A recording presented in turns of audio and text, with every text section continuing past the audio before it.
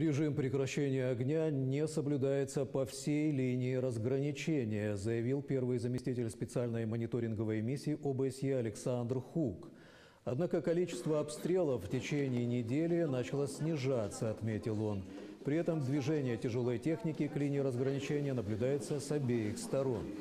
В результате обстрелов страдает мирное население. В прошлом году жертвами обстрелов стали 476 человек, из них 40 детей.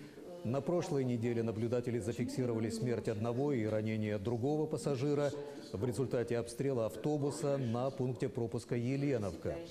Также сотрудники ОБСЕ обеспокоены отсутствием на неподконтрольной территории Донецкой области мобильной связи. И если в Луганской области ее удалось восстановить, то в Донецкой люди до сих пор звонить не могут.